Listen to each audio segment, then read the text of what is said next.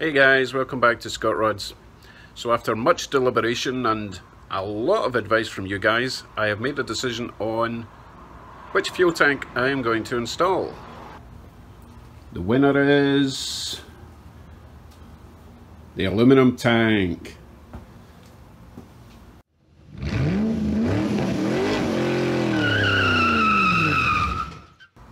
Now before I get started on the install. I do want to say thanks to all the comments. Overwhelming amount of comments on this one. Shows how little I know but I uh, really appreciate it. And one of the most important comments was from RW Rudder check out his site. Who basically said do it the hardest way first and then you don't you won't have to repair the inferior way afterwards. It's so true. I'm always looking for the easy easy solution but I end up spending three times the amount of time and money to repair it if I do it cheap and easy. So with that said, let me show you how this is all going to go down. My two options for installation were in the trunk, which would require all sorts of venting and it would take up space in the trunk. The other option was to install it under the frame which makes far more sense, easy to vent. The only downside is it might hang a bit low. But looking at it now, it's about six inches. It's going to be about about there, which is still about four inches higher than the the rear axle, the bottom of the struts. So I don't even think I need to remove this because I thought I was going to have to remove this beam move it back there and slot the tank in the middle and then cut a recess in the floor. But I don't think I'll have to. If I do fair enough I have to. As as as I've been told don't do it. Don't try and skimp out. You know don't do it the easy way. I'll regret it after. So I'll show you what I need to do for the tank. The first thing I want to do is make a steel cradle for it quite a simple cradle that the, the tank will sit in using one inch angle iron around the base and angle iron up each corner. So this whole section will be a welded solid block but I do want to be able to remove the tank at some point so if I use more angle iron at the top from there to there and there to there but uh, attach it with bolts rather than weld it so that I can lift it and bring it out at some point if I have to. So after that I would need to work out how I'm going to attach this unit to the back of the, the frame. So I'll cut, I won't cut these too short, I'll leave them quite long at this point and then I'll slide it under the car and see if I have to adjust the frame or if I can just bolt this straight onto the existing frame cross members. So let's get on with building a little cradle.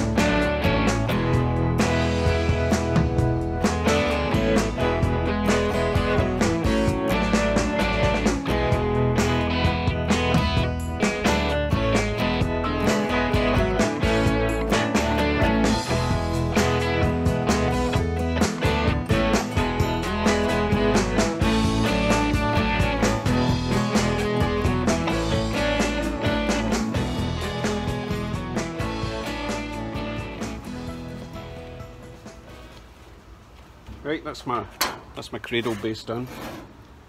I will probably buy a roll of that kind of stick-on rubber to go all the way around there just to cushion it a little bit. So that's sitting there.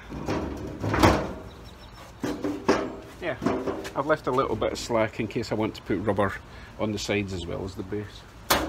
So I will take this over to underneath the, the car and then I can work out if I've got the height without chopping stuff off the, the frame or or if it will be okay that way and then I can work out where the vertical bars are going to go.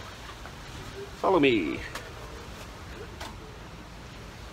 Right, there's no there's no getting around it. Sorry for the winds, but uh, that has to go. I mean, I could mount the tank underneath it, but then I've got the problem of the pipes sticking up and then they obviously have to curve round somewhat so I need I need about that height above. So it's going to set too low if I don't remove this. But that's okay. I don't need to relocate this actually. There's there's no point. I mean it's just it's not even like boxed. You know it's just bent so I may as well use this one and a half inch steel tube that I've got. And that will get mounted in about there and then obviously in inside there. Actually not a bad fit as it is so I will cut that to size weld that in place. I'll remove this part completely and then that will let the, the tank sit a bit higher as well so it's all good. So I don't need to worry too much about preserving this beam and removing all these massive rivet things. I'll just I'll just chop it there and chop it there. Back in a minute or 20.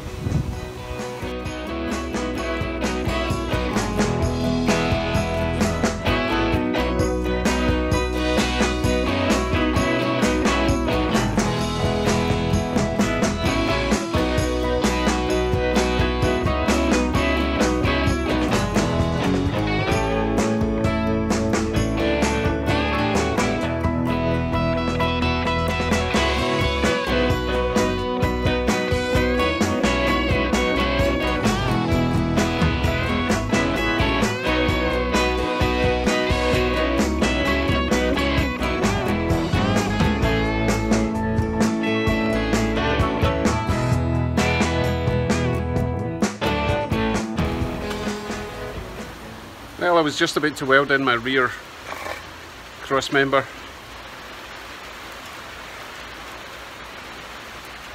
We have a bit of a thunderstorm passing through. Well, at least I hope it's passing through, otherwise I'm done for the day. Oh dear.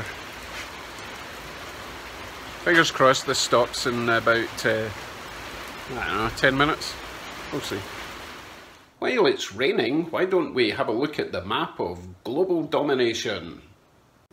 If you're new to this channel, this is what I do.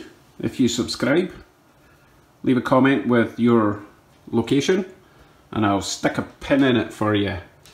So at the moment uh, the USA is, is winning this one. Quite a few in Canada land, but mostly the USA.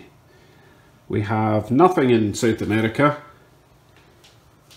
We've got a few in the UK. I like this little blue guy here, that is Shap near Kendal in uh, Scotland. Actually, is it Scotland or is it England? Not sure. There's a fuzzy border there. Nothing in Ireland. One in uh, Holland, Netherlands, or Never Neverland as Joey would say. London, Plymouth, what else we got? We've only got one in Africa. The whole of Africa, we've only got one down in Johannesburg. Nothing really going on in Asia.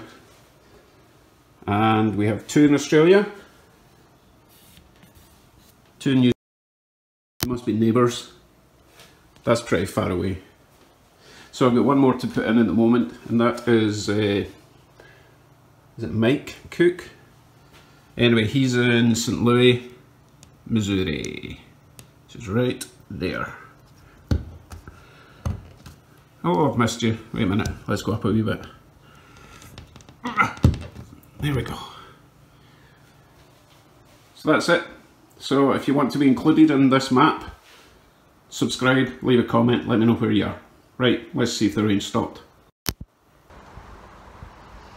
suppose while I'm waiting I could actually plan out how I'm going to create the cage for this fuel tank. But first, I need a refreshment. Let's see if my chili ball is working.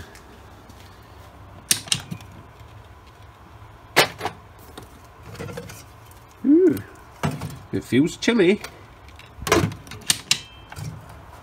Let's see if it tastes chilly.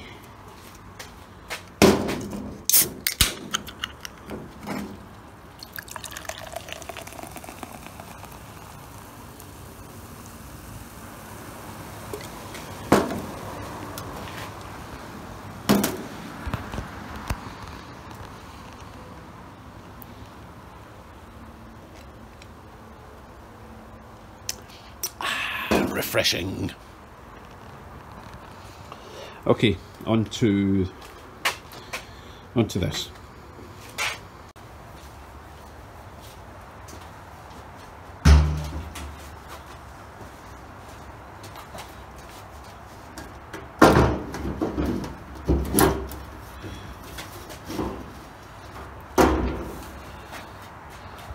So, the plan I was hoping to do this part over there because I need to create the corners and I don't know how high to cut the metal and I don't want to waste metal. Scottish remember, I don't want to waste resources. Uh, but I can, I, I can try and plan out how I'm going to attach it to the frame because I do want to make it removable. I, I don't want to weld this frame, sorry, I don't want to weld this cradle to the frame of the car because the body's going to sit over the top and I won't have access to anything unless I can make it removable. So that's what I need to figure out. Rain's gone off so I can get on with the welding. So I'm just going to weld this cross member in here first.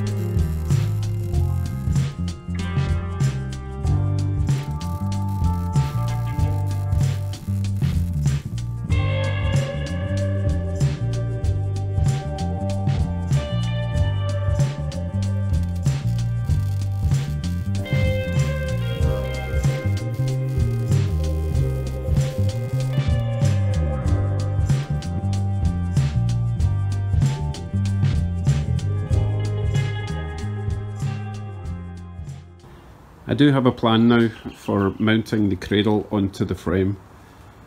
So I will get some axle stands, some wood, and I'll have this in the right height before I start mocking up my frame brackety thing.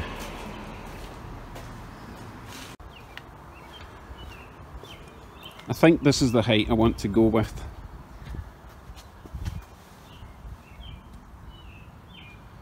So we're still Still a foot off the ground, maybe about 10 inches off the ground, that's plenty. Any higher than that I'll start getting problems hitting the floor. Now, what was I going to say?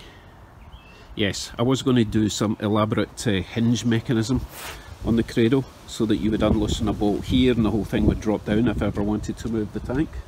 But I think I'd go. I think I'd rather go for structural integrity rather than ingenuity. So I'm just going to weld a solid frame from the corners. Each corner will go up. One there, one there, one there, one there. And some sort of clamp across the top.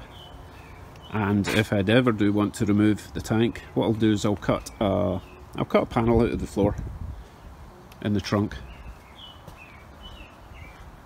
I mean the, the floor's not great anyway, I'll probably just make a new floor section. And uh, it'll just you know I'll cut a big rectangle out and then I'll overlap it with some foam insulator or whatever and then that can sit back down on the hole. And that will give me access to the tank if I ever need to remove it and also for the pipes and everything. So yeah I've still got I've still got work to do in the floor anyway so I might just cut out the entire floor. That would make sense. I don't think that's original anyway. Right let me get on with the cradle uh, structure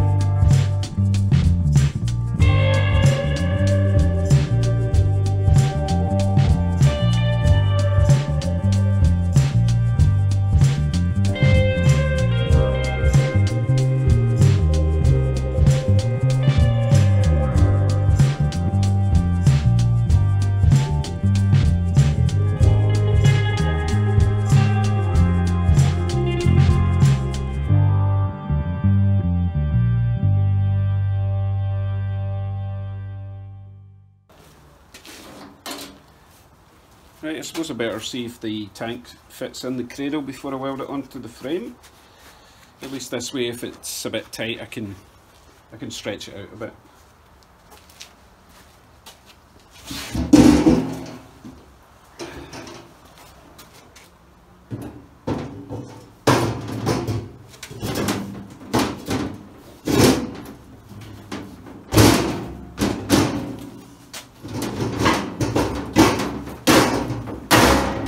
There we go. It's tight, but uh, I want it tight, so I just need a little thin, a little thin layer of uh, rubber around where the metal meets, just to stop any vibration, corrosion, whatever. And then once it's welded in, I'll need to figure out a way to clamp it down. But that's that's no problem. Like a like the way you would clamp down a battery easy enough to do. Right, let me weld this onto the frame and that should be us almost done with this. Right, my cradle is tacked in for now. Uh, I'm just going to do a final check of the tank before I seam that all up, okay? Uh, weld it all up.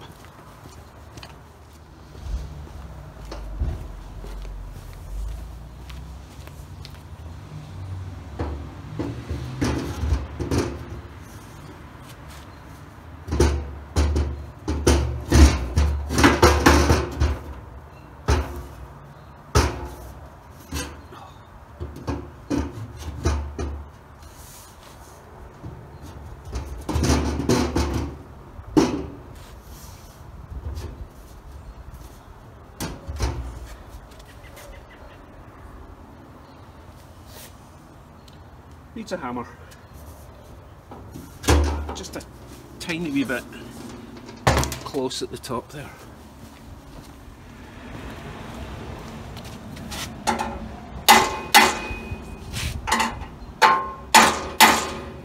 That should do it.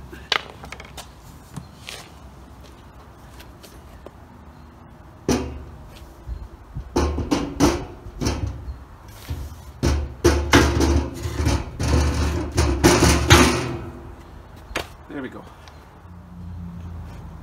So I did end up lowering it just a little bit so that uh, this the top of that is now flush with this beam. And it should give me a little bit more distance there for the filler pipe to come out. Because I would rather it wasn't just coming straight through the floor and going diagonally across to its filler hole in the side of the car. So if I can get away with a 90 coming round maybe comes from up and over this way but we'll see. So that's it for now.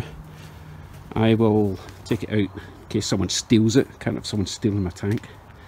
I'll take it out for tonight and then tomorrow I will weld up all that nice and smooth.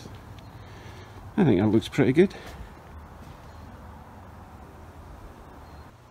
Right, that's me for tonight guys.